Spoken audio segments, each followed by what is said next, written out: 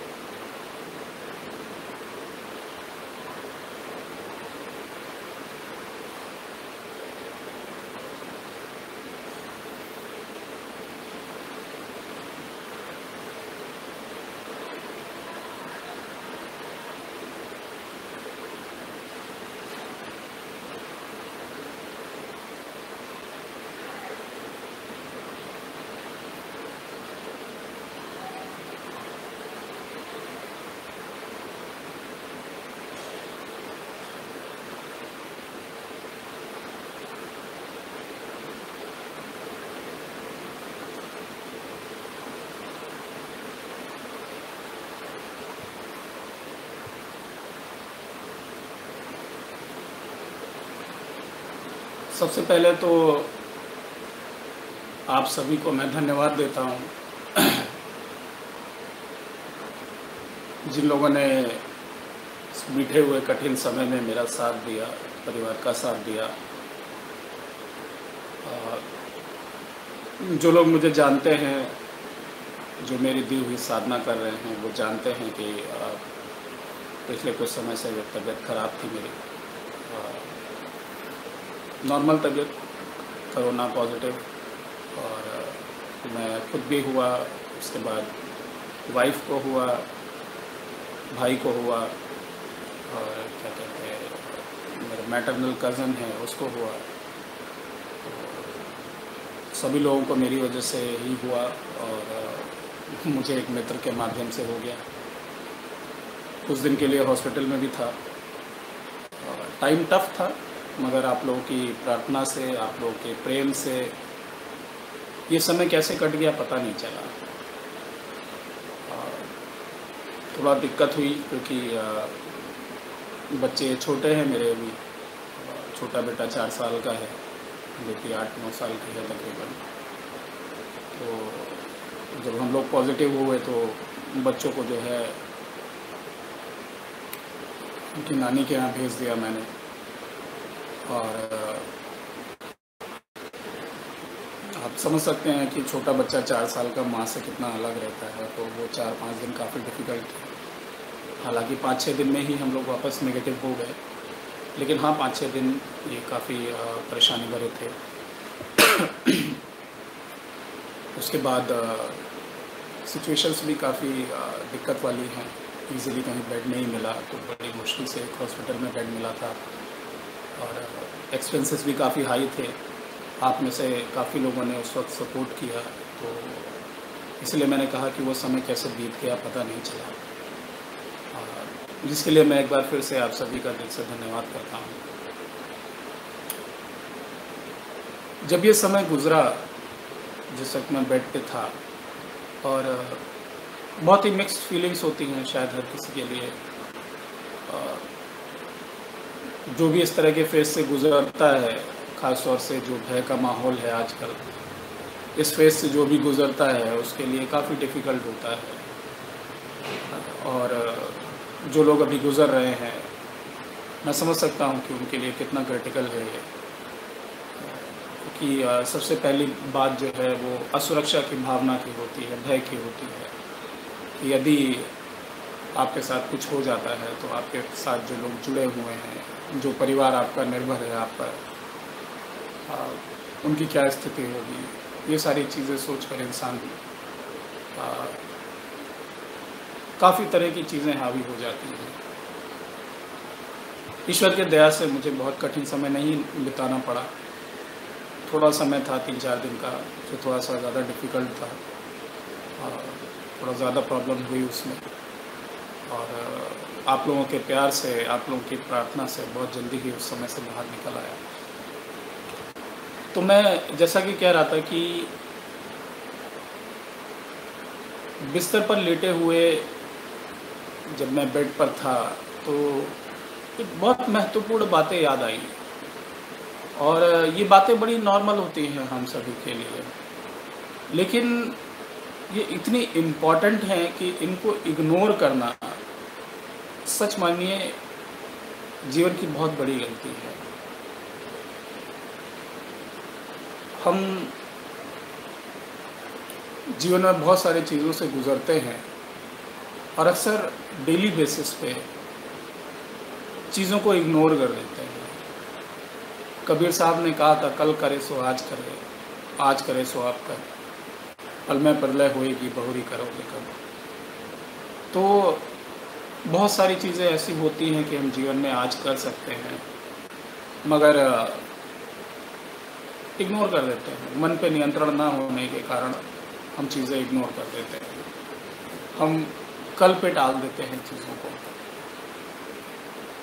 इस वक्त ये एक मेरे लिए भी सीख थी कि जीवन में भले ही छोटी बात हो या बड़ी बात हो, आप जो आज कर सकते हैं, जो अभी कर सकते हैं उसको कल के लिए मत डालिए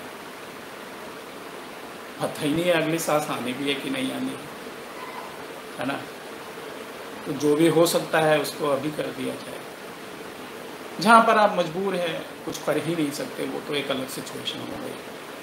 लेकिन जहाँ पर भी आप सक्षम हैं, चाहे भले ही वो छोटा सा काम हो, उस काम में लापरवाही मत करिए। ये जो बड़े बूढ़ों ने कहावतें कही हैं चाहे हमारे संतों ने कही हो, चाहे हमारे बुज़ुर्गों ने कही हो, चाहे हमारी देश की संस्कृति के अंतर्गत हुआ था हो, या जो दुनियावी कंक्लूजन्स हैं लाइफ को लेकर,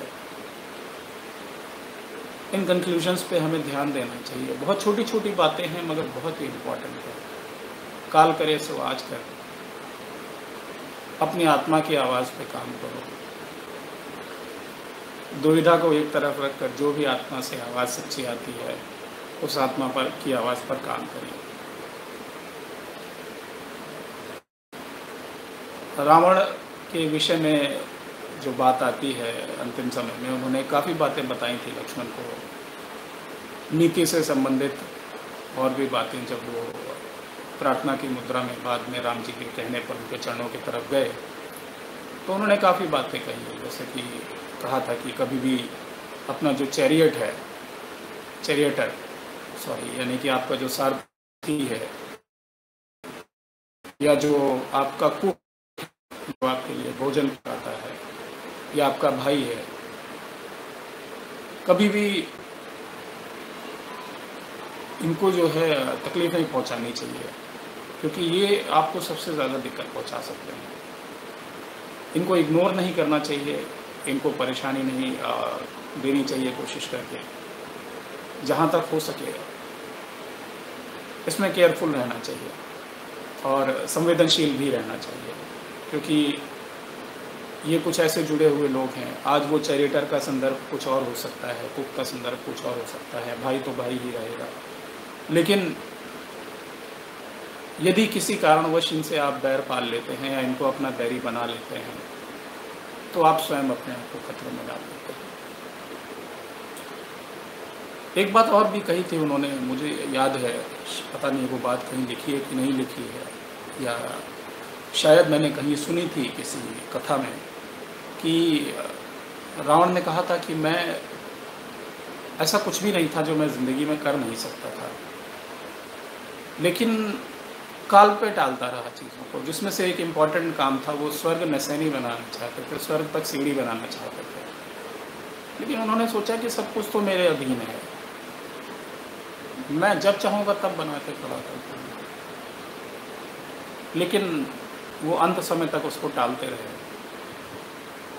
अगर पौराणिक अर्थों में समझें तो ये कितनी बड़ी उपलब्धि होती है। और सिर्फ़ उपलब्धि ही नहीं, कितना बड़ा कन्वीनियंस होता उन आत्माओं के लिए जो ये मानते हैं कि ऐसा भी संभव है। उन लोगों के लिए जो ये मानते हैं कि ऐसा भी संभव है। अगर रावण ऐसा कर पाते जिस व्यक्ति के गुणों के विषय में, तपस्या के विषय में, शक्ति के विषय में, हमारे जो कथाएँ हैं, रामायण हो गई या और भी जो कथाएँ हैं, इतना गुणगान करती हैं। देखिए, वो एक अंत की बात अलग है कि उन्होंने राम जी से बैठ लिया और गलत काम किया, गलत काम की वजह से उनको दंड मिला। लेकिन बाकी जो अच्छाइयाँ थी उनकी वो अपने आप में अप्रिशिएट करने वाली थी जो व्यक्ति इतना पावरफुल था, वो आपको ये टीचिंग देके जाता है कि काल करे सो आज करो, आज करे सो आज कल के लिए कुछ मत छोड़ो, कल का कुछ भी पता नहीं है। उन्होंने कहा, इतना पावरफुल होने के बावजूद भी मैं सब कुछ कर सकता था, उसके बावजूद भी। सिर्फ़ इस भरोसे पर, इस ओवर कॉन्फिडेंस पे, इस इग्नोरेंस पे कि मैं तो जब चाहूँ, जो चाहूँ कर सकता हूँ। उस काम को नहीं किया जो वो कभी भी कर सकते। लाइफ की वैल्यू वो लोग समझते हैं जो लाइफ पर खतरा देख कर आते हैं। वर्तमान जो हालात हैं, इस बीमारी के चलते, उन्होंने जीवन को देखने का जो एक नज़रिया है मेरे हिसाब से बहुत से लोगों का नज़रिया परिवर्तित किया होगा। ख़ास तौर से जो लोग इस दौर से गुज़र के आए हैं, उनको समझ में आया होगा कि लाइफ की अहमियत क्या है। हम इस लाइफ में क्या कुछ कर सकते हैं और कितना कुछ हम व्यर्थ करते चले जाते हैं, कितना कुछ समय हम बर्बाद करते चले जाते हैं व्यर्थ की चीज़ों में। छोटी छोटी बातों पर अपना समय खराब करते रहते हैं। गौसिप में इधर उधर में, ठीक है? जो लोग आध्यात्म मार्गी हैं, जो ईश्वर मार्गी हैं, वो समझ सकते हैं कि लाइफ कितनी वैल्यूबल है। आपके जीवन के एक पल का अगले पल का पता नहीं है। और एक एक पल अगर हो सके तो वो आपका सिमरन में बीतना चाहिए। बाकी चीज़ें ज़रूरी हैं अपनी जगह पर। आपका जो भी सांसारिक कर्तव्य है, देखिए, जब तक जीवित हैं, तब तक तो वो आवश्यक है और वो करना भी चाहिए आपको। वो आपका अधिकार भी है, भोग भोगना आपका अधिकार है, क्योंकि आप भोग को भोगने के लिए ही यहाँ पर आए हैं। लेकिन भोग के साथ साथ मोक्ष की प्राप्ति के लिए, अर्थात ये जो चक्र है, इससे अलग होने के लिए आपका प्रयास जो है वो पूरा ईमानदार होना चाहिए।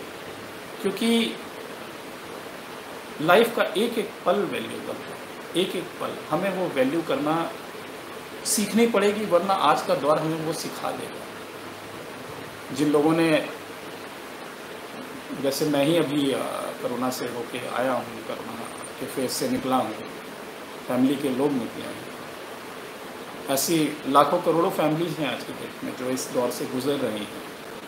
मैं एग्जैक्ट नंबर नहीं कह सकता, लेकिन मेरे ख्याल से बहुत बड़ी संख्या है जो इस दौर से गुजर रही है। जो इस दौर से गुजर रही है, वो लाइफ की वैल्यू समझ सकते हैं। लाइफ कितनी इंपॉर्टेंट है कि व्यक्ति अपनी जान बचाने के लिए खुदा हो। पूरे अपना जो भी रिसोर्सेस हैं उनको इस्तेमाल कर रहा है, अपनी तरफ़ से जो भी हो सकता है, उसको कर रहा है। क्यों कर रहा है? लाइफ वैल्यूबल है ना? लाइफ जीना चाहते हैं इसीलिए तो कर रहे हैं। लेकिन जब नॉर्मली लाइफ जीने को मिल रही होती है तो हम उसे व्यर्थ की चीज़ों में गवाते हैं। बहुत सारी टेंशन्स लेके बैठे रहते हैं। ये नहीं चल रहा, वो काम नहीं हो रहा, ऐसा नहीं हो रहा, इसमें कामयाबी नहीं मिल रही, उसमें नहीं मिल रही। ठीक है? काश ये काम पहले कर लिया होता, पता नहीं जीऊँगा कि नहीं जीऊँगा। मिश्रा जी, ये फालतू की बातें मुझसे मत पूछा करिए।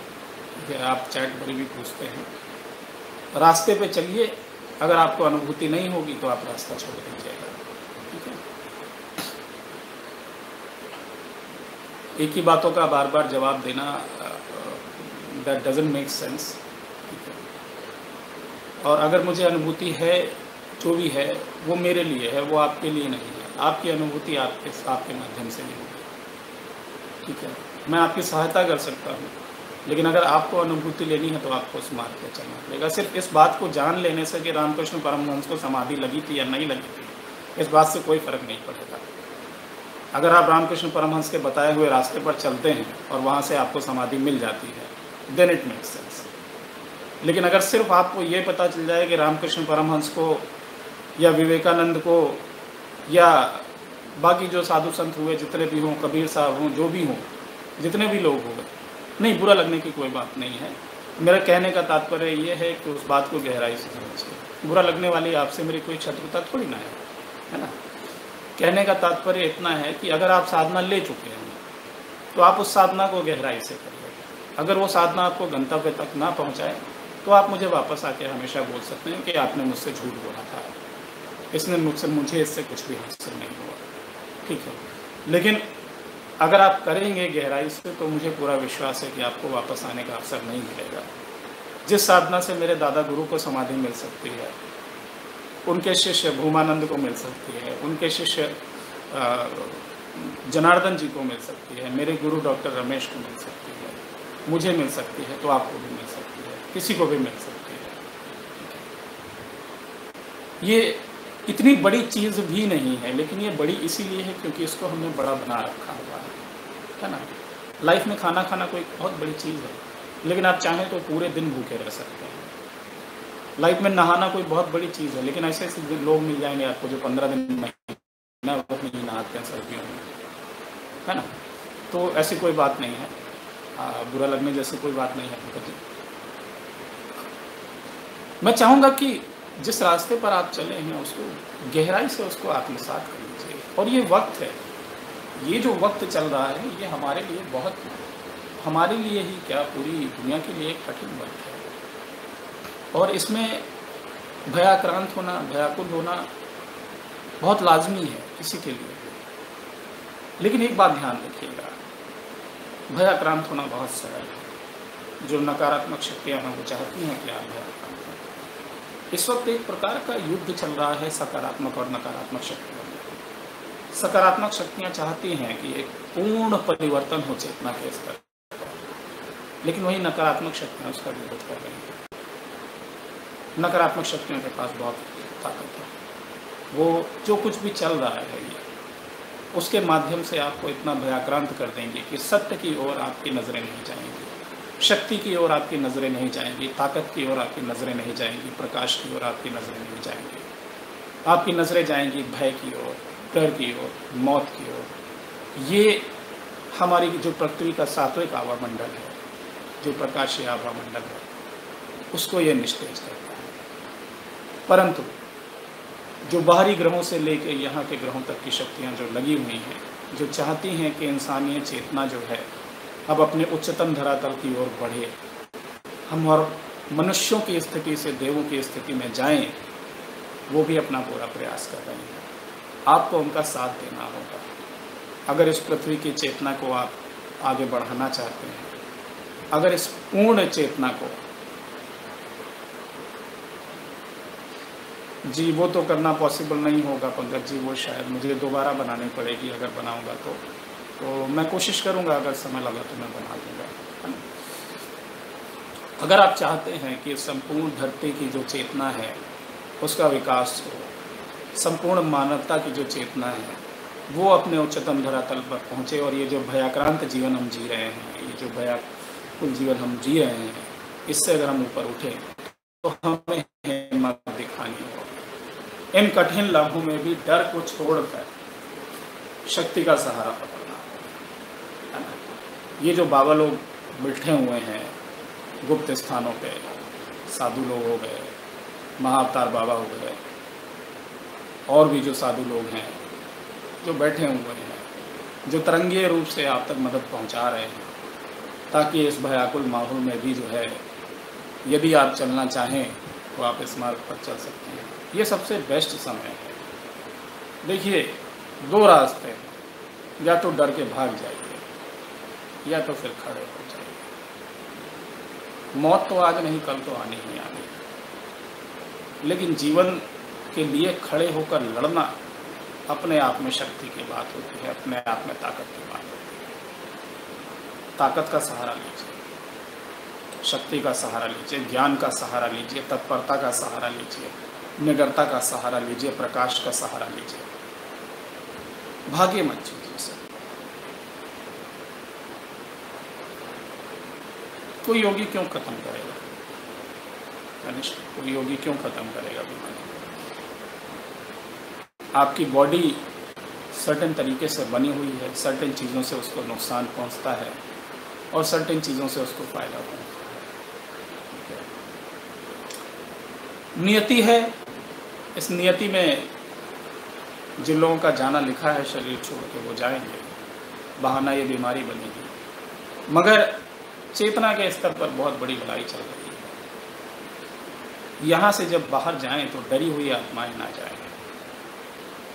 मज़बूत जो ईश्वर में लीन हो, जिनकी ज़बान पे सिमरन हो, वो अपने आप ये जो नकारात्मक चेतना फैली हुई है इसको सकारात्मक में परिवर्तित कर देगी सिंपल सी बात सोचिए ना, आपको याद होगा हमने कहानी पढ़ी थी, शायद रोमन्स के बारे में, मुझे याद है, कि उनके नगर पे आक्रमण होता है और 300 सैनिक थे शायद उनके पास। में 300 पे तो मूवी भी बनी थी और शायद यही स्टोरी थी या स्टोरी कुछ डिफरेंट थी, मुझे याद नहीं है, कि सारे के सारे सैनिक पुल पर खड़े हो जाते हैं और एक एक लड़ते रहते हैं एक एक करके वो नदी का पूरा पुल तोड़ देते हैं।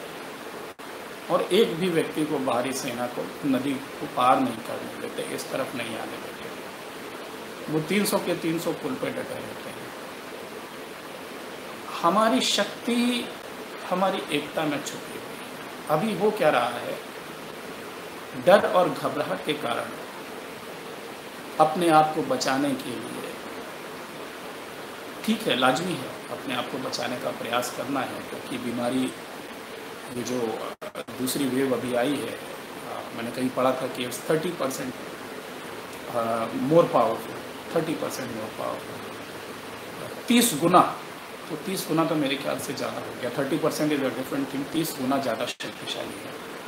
तो जहाँ पहले एक आदमी एक व्यक्ति को संक्रमित करता था एक व्यक्ति तीस व्यक्तियों को संक्रमित करने में संभव है। और यकीन मानिए कि माहौल आप सभी भी जानते हैं और मैंने भी कई जगह देखा है कि अगर उतना भयाकुल नहीं है तो लोग डरे हुए ज़रूर हैं।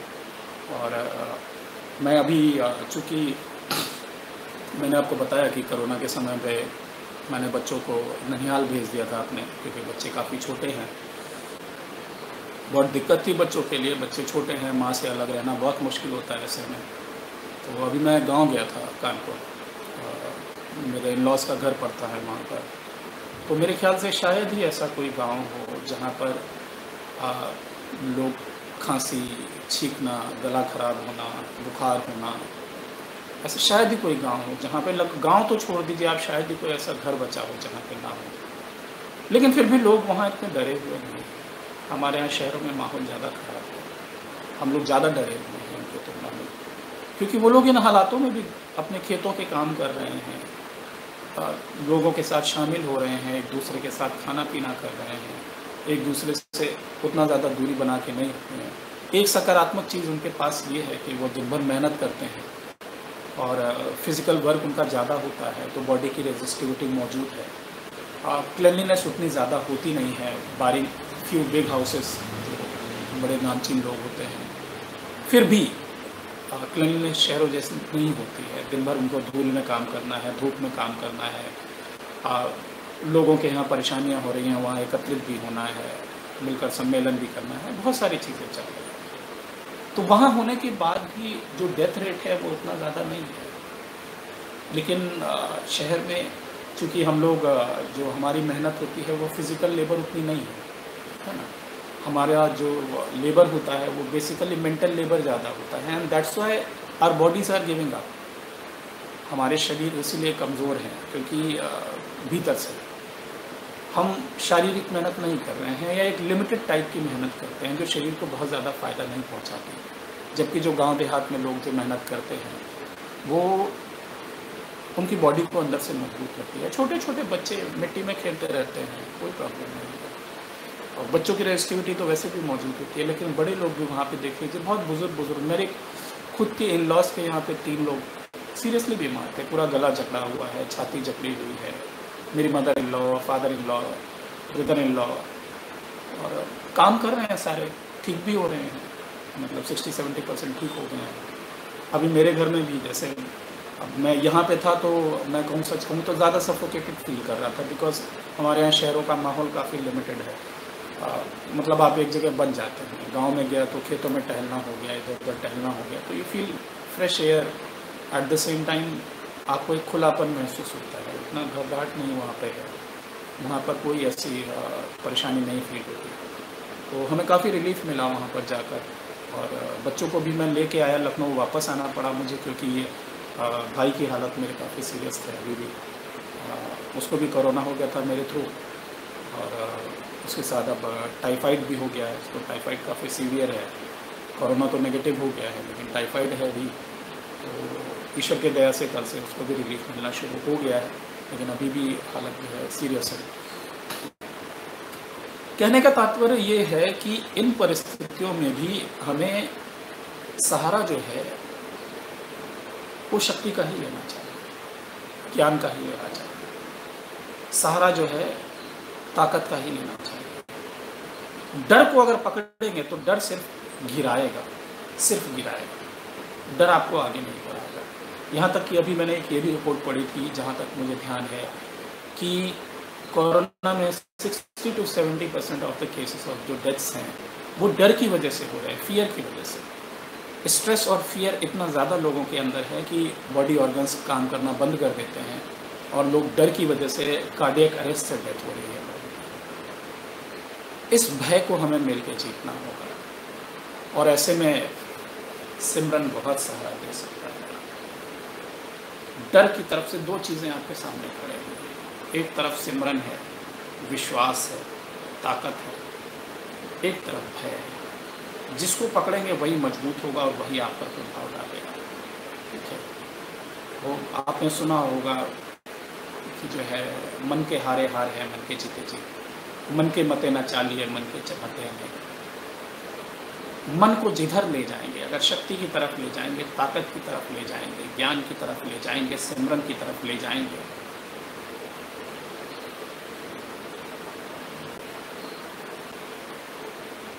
तो वहीं से आपको मजबूती मिलेगी, वहाँ से आपको ताकत मिलेगी। और हम बहुत हद तक, ये जो नकारात्मकता फैली हुई है, उससे ओवरकम कर सकेंगे और कुछ समझ में आया हो या ना आया हो, मुझे बिस्तर पे रहते हुए इतना ज़रूर समझ में आया। आप सभी के लिए भी, अपने लिए भी। अगर गुरु से मंत्र लिया है तो आपकी एक एक श्वास जो है वो सिमरन में भी चाहिए। जो भी समय आपके पास है, उसको सिमरन में बिताने की कोशिश करें। उसको नष्ट ना करें। एक एक पल अपना सिमरन में बिता जीवन का कुछ भी पता नहीं। मगर आखिरी सांस तक, जो भी समय मिल रहा है, इसको यूटिलाइज करें। गुरु ने जो मंत्र दिया है, बाकी चीज़ों से दिमाग हटाकर अपने मंत्र पर ध्यान रखिए। जो आपकी दैनिक रिस्पॉन्सिबिलिटीज़ हैं, वो तो आपको करनी ही पड़ेगी, उनको करते रहिए। लेकिन आपको जो बाकी समय मिल जाता है, उसको सिमरन में अवश्य जो है, उसको खर्च करिए। अपनी सांसों को सिमरन में खर्च करिए, इनको बिना वजह बेकार बचा है ना? आप लोग जानते हैं, मैं महातंत्र योग का साधक हूँ। ये साधना महाअवतार बाबा जी के द्वारा आई हुई है। महाअवतार बाबा जी के द्वारा भी अगर उनसे पहले भी कहूँ तो अंगिरा जी, महर्षि अंगिरा जो सप्त ऋषि में ऋषि हैं उनके द्वारा ये साधना आई हुई है, जो महाअवतार बाबा जी के द्वारा होती हुई, अन्य गुरुओं से होती हुई, जिसमें जो मेरे गुरुओं की श्रृंखला है, पूर्णानंद परमहंस जी, जो सबसे पहले सिद्धाश्रम गए थे, तिब्बत, वहाँ पाँच साल रहे, उसके बाद वापस आए। इंडिया में आके काफ़ी लोगों को साधना दी। सर्वानंद जी भी उनके साथ में गए थे, सर्वानंद जी ने किसी को साधना नहीं दी, योग्य नहीं समझा उन्होंने। अफ़गानिस्तान की तरफ़ चले गए थे, उसके बाद उनका कुछ पता नहीं चला। पूर्णानंद जी के बाद में भूमानंद जी थे, संस्कृत के स्कॉलर थे प्रिंसिपल थे स्कूल के। आसाम काला कामाख्या में जो है काली घाट में उनका आश्रम था। उन्होंने इस साधना को आगे बढ़ाया। उनके माध्यम से मेरे जो गुरु जी के गुरु हैं, या थे शारीरिक रूप में, जनार्दन जी जनार्दन जी ने इस साधना को आगे बढ़ाया। और जनार्दन जी के बाद मेरे गुरु जी डॉक्टर रमेश परमहंस, जिनका चित्र आप पीछे देख रहे होंगे उन्होंने इसको आगे बढ़ाया। मेरे गुरु जी भी कई बड़े जो उस वक्त के नामचीन गुरु थे, जो संत थे, उनके साथ में उन्होंने समय अपना स्पेंड किया, जिसमें कश्मीर शैविज़म से लोग थे और पंडित गोपीनाथ कविराज जी थे और भी बड़े साधु संत जो उस टाइम रहे, उनके साथ समय गुरु जी ने स्पेंड किया अपना। और एक उच्च कोटि के तंत्र योगी साधक थे। साधना प्राप्त करने के बाद में।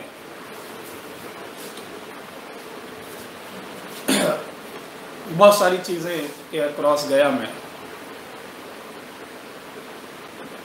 जो चीज़ें कल्पना करता था सिर्फ़, वो चीज़ें जानने, समझने को मिली। उन चीज़ों की अनुभूति हुई। मेरे जो गुरु जी के गुरु थे जनार्दन परमहंस जी एक बात उन्होंने लिखी थी, वो बात मुझे काफ़ी बाद में समझ में आई जाके। पहले वो बात मुझे समझ में नहीं आती है। जैसे जैसे आपके चेतना का स्तर बदलता जाता है साधना के साथ में वैसे वैसे आपकी समझ उत्पन्न होती जाती है। तो उन्होंने एक बात कही थी कि मैंने महसूस किया कि साधना के दौरान मेरे भीतर कुछ शक्तियों का विकास हो रहा था। कुछ चीज़ों में क्लैरिटी आ रही थी और बहुत सारी चीज़ें मेरी मन की स्थिति के हिसाब से बदल गई ये बात सिद्धि वाली बात समझ में आ गई क्लैरिटी की बात समझ में आ गई, लेकिन जो ये बात उन्होंने कही कि बहुत सारी स्थितियाँ जो है वो मेरे मन के हिसाब से बदल रही थी वो बात मुझे नहीं समझ में आई। काफ़ी लंबे दौर तक मुझे समझ में आई। लेकिन जब मैं साधना करता रहा तो एक स्थिति ऐसी आई जब मुझे ये बात समझ में आई जाके कि जब आप चेतना के स्तर पे ऑपरेट करने लगते हैं बॉडीली लेवल से ऊपर उठ के, जब सिर्फ़ आप बॉडीली लेवल तक सीमित नहीं रह जाते हैं, शारीरिक बंधनों तक सीमित नहीं रह जाते हैं, आपकी चेतना का विस्तार जो है शारीरिक बंधनों से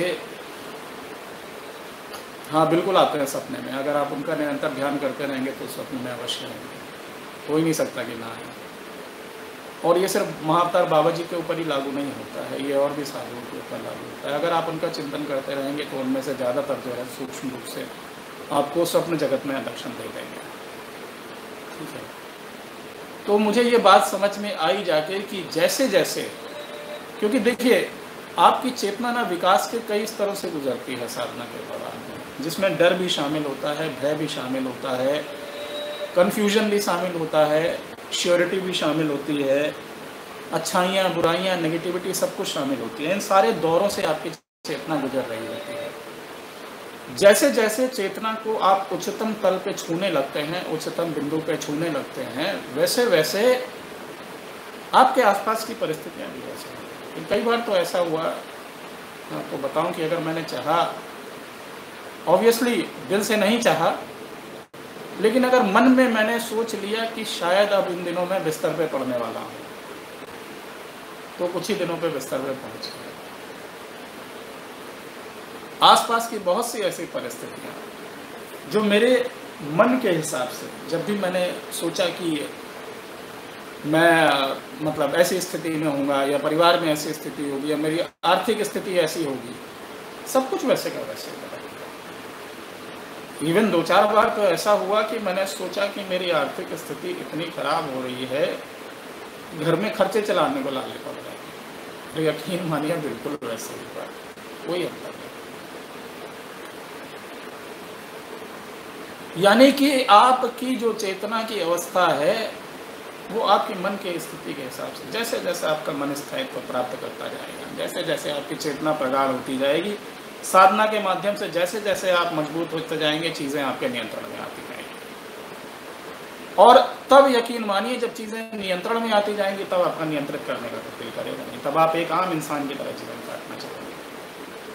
ठीक है? आपको जीवन में जिन भोगों के लिए भोगा गया है, जो चीज़ें समझने के लिए भोगा भेजा गया है, वो सारी चीज़ें आप बस समझना शुरू कर देंगे और शांत शुरू आप नहीं पढ़ेंगे किसी प्रोटेक्शन के चक्कर में, आप नहीं पढ़ेंगे किसी भविष्यवाणी के चक्कर में।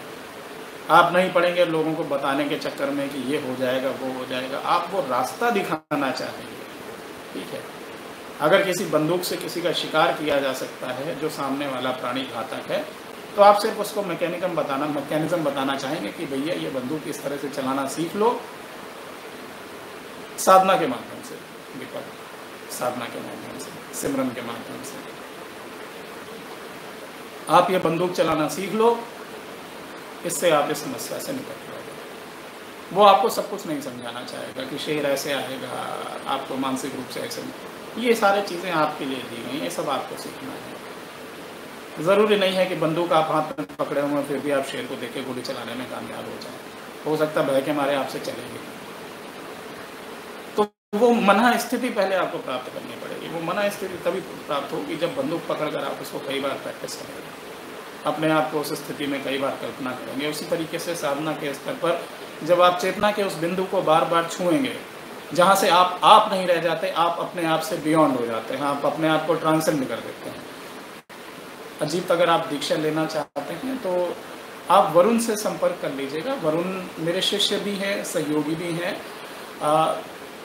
Nine eight seven three three six one nine one eight number है उनका। Nine eight seven three three six one nine one eight ठीक है? तो आप वरुण से संपर्क कर सकते हैं। व्हाट्सएप के माध्यम से संपर्क करिएगा, कॉल मत करिएगा, क्योंकि वर्किंग प्रोफेशनल है, शायद कॉल पे आपको जवाब ना दे पाए, लेकिन अगर आप मैसेज करेंगे तो आपको 24 घंटे के अंदर मोस्ट प्रॉब्ली 24 घंटे के अंदर वो आपको रिप्लाई कर देंगे। ठीक है? तो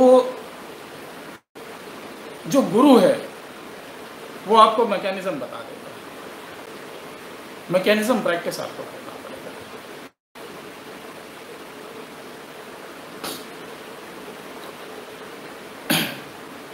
मेरे गुरु ने ऐसा नहीं किया, मेरे साथ बैठकर मुझे साधना कराया। या जो मेरे गुरु जी के गुरु थे, जनार्दन जी, मुझे हालाँकि बहुत ज़्यादा जानकारी तो नहीं है। हो सकता है कि उन्होंने कुछ समय उनके साथ बैठ कर भी साधना की हो, लेकिन उनके सानिध्य में ज़्यादा रहे। उन्होंने अपना घर छोड़ा कानपुर में गुरु जी मेरे कानपुर के रहने वाले थे, अपना घर छोड़ा। और उन्होंने ज़्यादातर समय अपना जो समय है वो जनार्दन जी के साथ बिताया, ऋषिकेश में बिताया, दिल्ली में बिताया, आश्रम में काफ़ी समय बिताया। और एक बात लिखते हैं कि शायद जनार्दन जी ने लिखी है या गुरु जी ने लिखी थी, शायद मुझे ये बात ध्यान नहीं है। उन्होंने एक बात लिखी थी कि गुरु की शक्ति को समझने के लिए गुरु के तल पर पहुँचना पड़ता है। अगर आप इसी इंसानी तल से बैठकर जो है बात को गुरु को समझने का प्रयास करते रहेंगे तो ना गुरु की शक्ति को समझ पाएँगे, ना गुरु की बातों को समझ पाएँगे। आप बस अपने हिसाब से अपने लिए मटेरियल ढूंढ लेंगे कि इसको बुराई करनी है, इसके कपड़ों के लिए बुराई करनी है, इसकी बातों के लिए बुराई करनी है। वो आपका चुनाव है, उसमें कोई बाधा नहीं है, मगर उससे कोई लाभ नहीं है आपको कुल मिला लाभ आपको वही होगा जब आप गुरु की शक्ति को समझने की चेष्टा करेंगे। जीवन बहुत वैल्यूएबल है। इसको और वैल्यूएबल बना सकते हैं, इसकी वैल्यू को और इन्हेंस कर सकते हैं, अपनी आत्मा को और इन्हेंस कर सकते हैं, गुरु के द्वारा दी गई दीक्षा के क्योंकि गुरु को इंसान, गुरु को जो है, भेजा तो इंसानी शरीर में गया है। लेकिन ईश्वर ने उसको भेजा ही इसीलिए है कि वो आप तक उस मैकेनिज्म को पहुँचा सके जहाँ पे आप इंसान से देवतुल्य हो जाए। ठीक है? समाधि को एक्सप्लेन करने से कोई फ़ायदा नहीं होगा। उसको जब तक अनुभव नहीं करेंगे, तब तक अंडरस्टैंडिंग नहीं आएगी। एक्सप्लेन करने से कोई फ़ायदा नहीं। मैं उसके बाहरी लक्षण बता सकता हूँ, लेकिन वो बाहरी लक्षण बाकी लोगों जैसे ही होंगे। तो आपको ऐसा उसमें कुछ नया लगेगा नहीं मैंने कुछ आपको उसमें नया बता दिया, और उसमें कुछ नया है भी नहीं। वो जब आप खुद अनुभूत कर लेंगे तो आपको खुद समझ में आ जाएगा।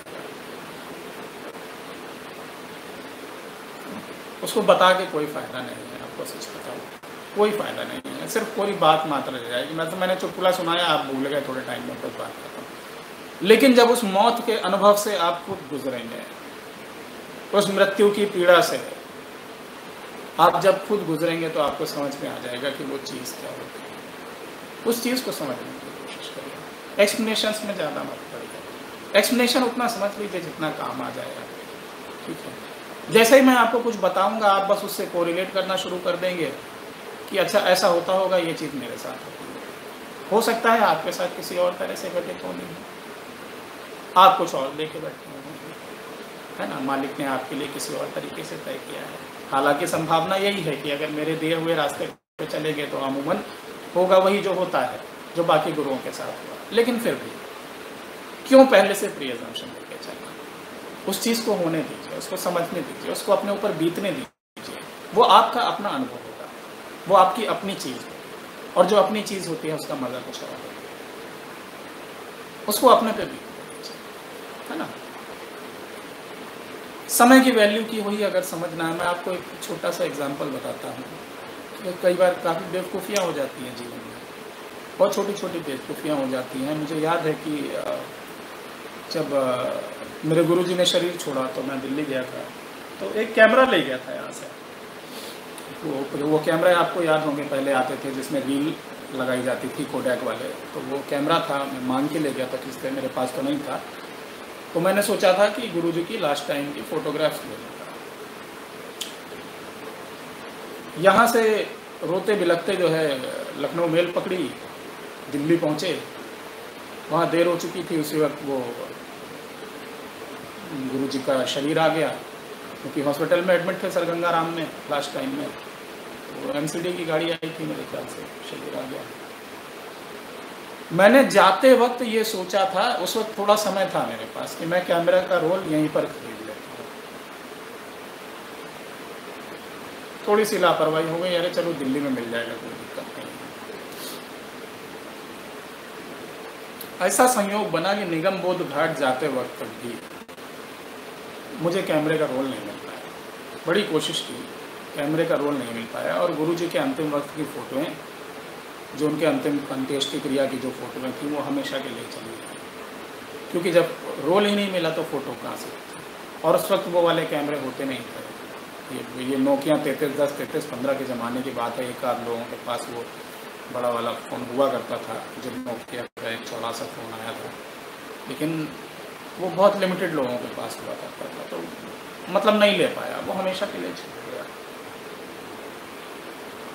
थोड़ी सी टीस रह गई मन में कि शायद थोड़ा पहले कर लेता है तो कुछ स्मृतियाँ रह जाती उनकी। लेकिन वही, काल करे सो आज कर, आज करे सो आप प्रलय पल में प्रलय होएगी, भौरी करोगे, कब? हो गई प्रलय नहीं लेता। और अब वो कभी नहीं मिलेगा। मैं भी मर जाऊँगा, तब भी नहीं मिल पाएगा।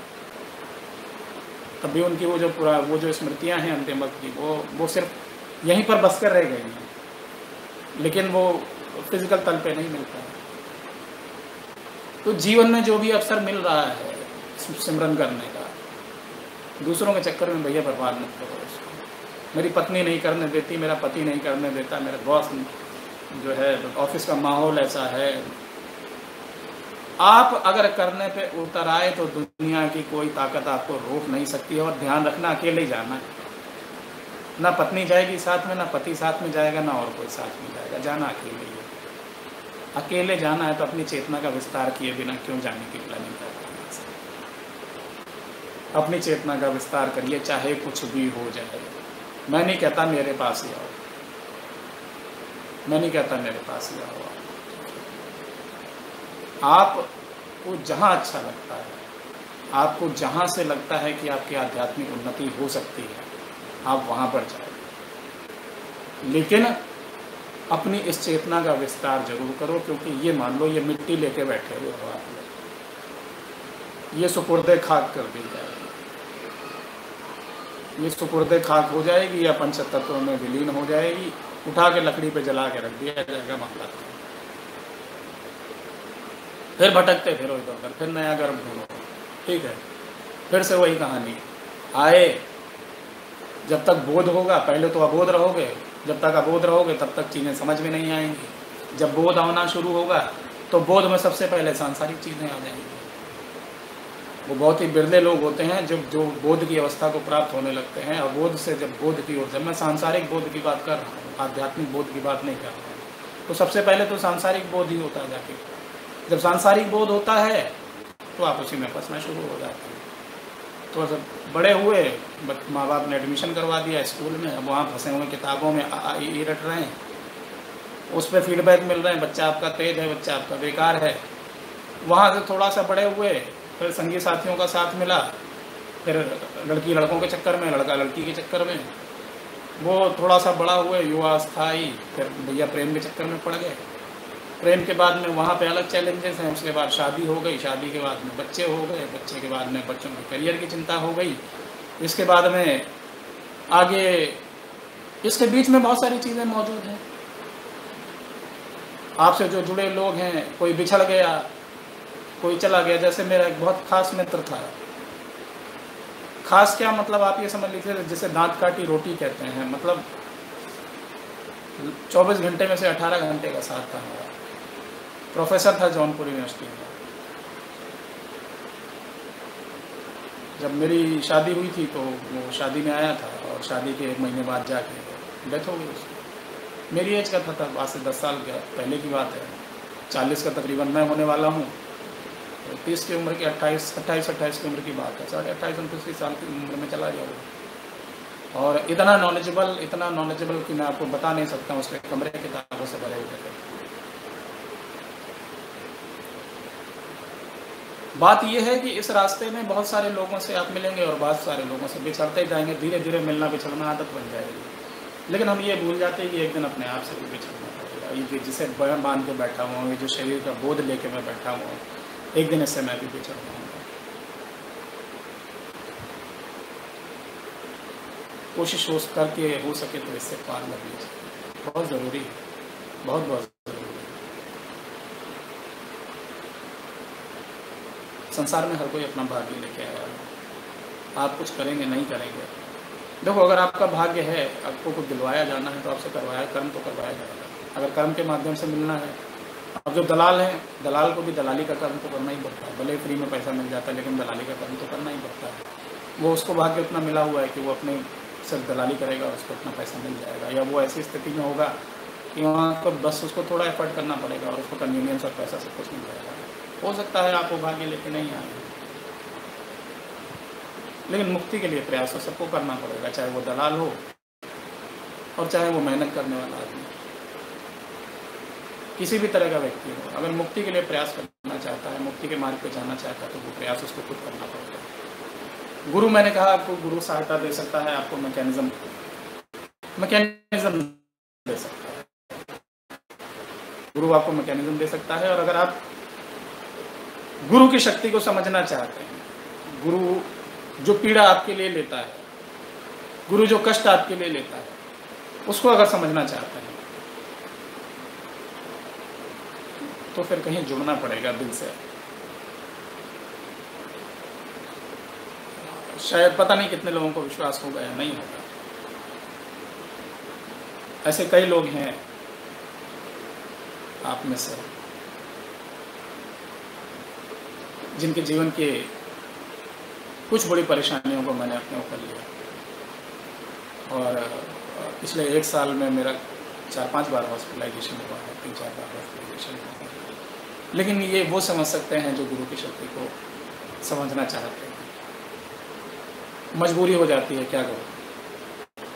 ऊपर वाले ने सर पे डंडा मारा हुआ है कि भैया तुम्हें ज़िम्मेदारी लेनी है, भले ही दस लोगों की ज़िम्मेदारी तुम्हें ज़िम्मेदारी लेनी है और मैं उस ज़िम्मेदारी से भाग नहीं सकता अगर कोई समझना ही चाहता है कि जीवन की वैल्यू क्या है, एक साधक है, बच्चा ही है, नाम भी बता देता हूँ, उसका किशन नाम है, इलाहाबाद से है। एक साल से लगातार तकरीबन ज़िंदगी मौत से जुड़ गया सांस लेने में दिक्कत हो गई थी। अभी मेरे ख्याल से ठीक हो गया जब लास्ट टाइम दो महीने पहले उसने मुझसे बात की थी, दो महीने बाद तो अभी एक दो बार बात हुई जब वो ठीक हो गया। उससे पहले से काफ़ी लंबे समय से वो परेशान चल रहा था। सांस लेने में बहुत दिक्कत हो रही थी एडमिट हो रहा था हॉस्पिटल में, बहुत दिक्कत हो रही थी। तो लास्ट में उसने मुझसे कहा कि गुरु जी अब ज़िंदगी रहे या ना रहे, मैं अपना समय बस साधना करूँगा। मुझे नहीं पता कि अब मैं बचूँगा नहीं मरूँगा और अभी बच्चा ही है, ज़्यादा एज नहीं बाईस, तेईस साल और पच्चीस साल का होगा मेरे ख्याल से ज़्यादा एज नहीं है। जब इंसान इस चीज़ पे उतर आता है ना, कि अब ज़िंदगी रहे या ना रहे, शायद ही ऐसा कोई काम है होता है। बुद्ध क्यों कामयाब हो गया ज़िंदगी रहे ना रहे, अब ज़िंदगी मौत की परवाह नहीं है। महावतार बाबा जी क्यों कामयाब हुए, इसलिए करता है। ज़िंदगी रहे ना रहे। जाना है तो उसके रास्ते पे जाना है।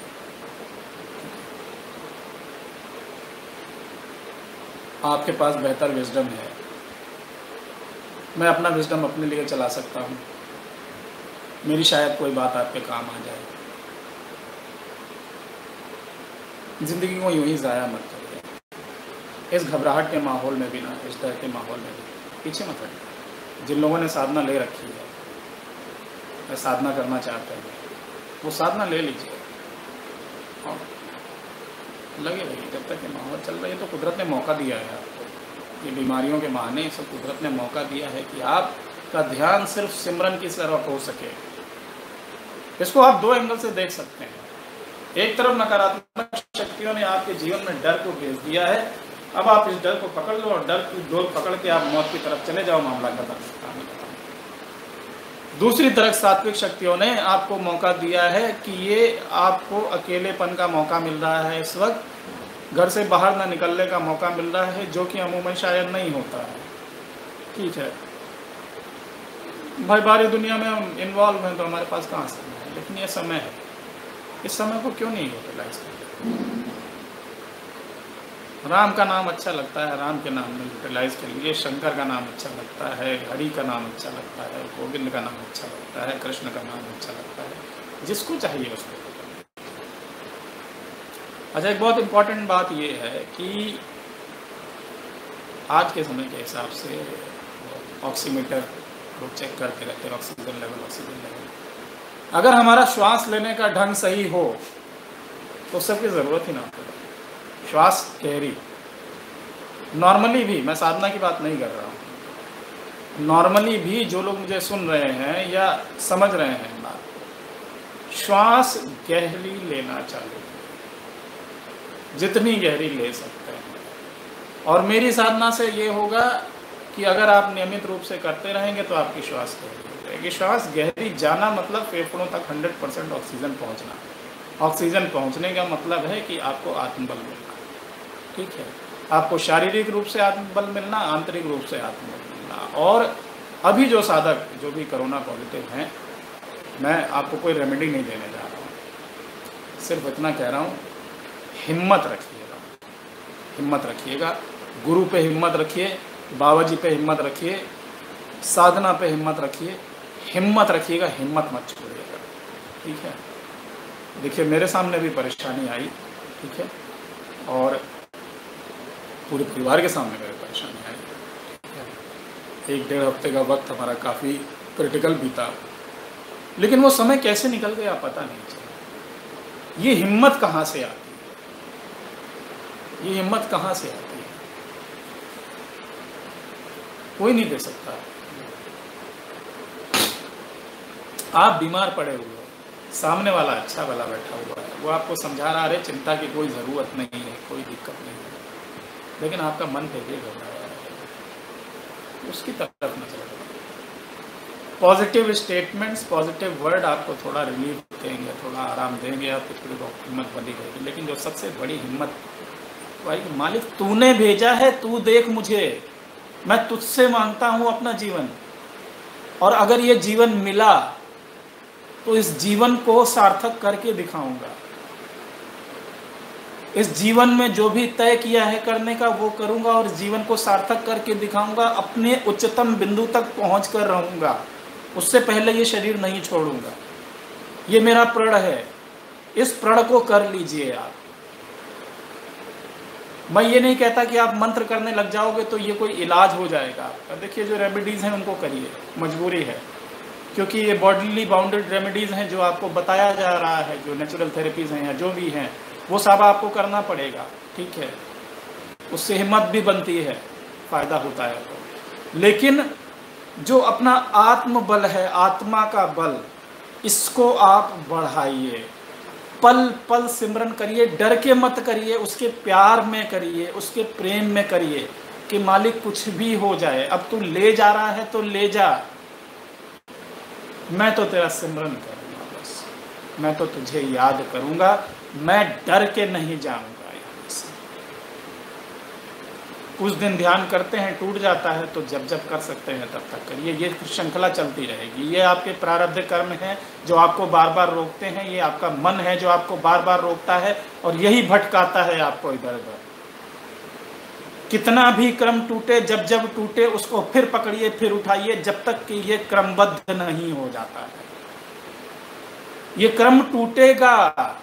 अगर ये क्रम स्पॉन्टेनियस हो सकता, नेचुरल हो सकता तो आप भी महावतार बाबा होते, आप भी कबीर होते, आप भी रविदास होते, आप भी मीरा होते।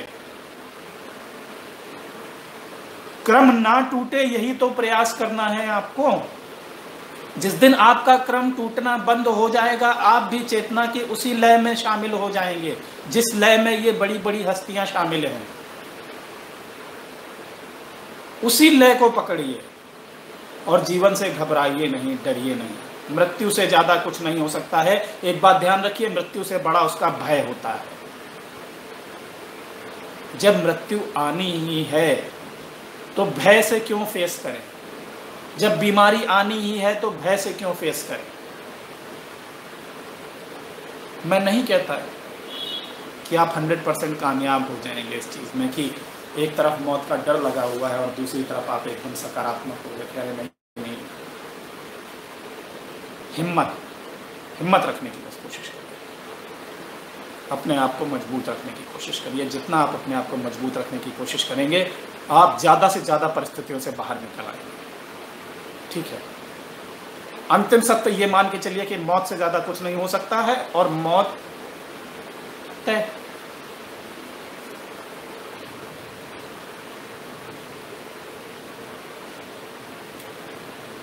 अजय, देखिए, मैंने कहा आपसे कि गुरु आपको मैकेनिज्म दिखा सकता है।